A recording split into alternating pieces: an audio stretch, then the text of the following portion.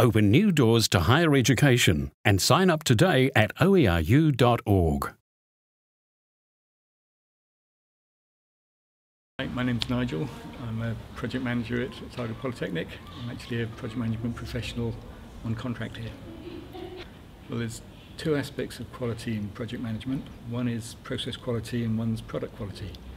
And for process quality, we're looking at um, how we're going to take the project through the, the processes and is it going to move smoothly?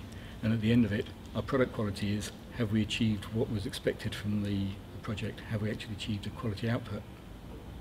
Okay, as a project manager, you've got to be looking at how you're going to get from where you are now to the end.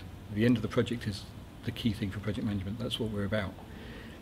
If you haven't got things set up to be able to move smoothly through your project, then you're going to fail. And if you haven't got things set up so that at the end of the project you know exactly the quality of your outputs, then you're going to get arguments at the end of the project. You're going to have your sponsor, your customer saying, this isn't what we agreed to. If you haven't defined the quality of the output, then you're going to really struggle to get the output accepted.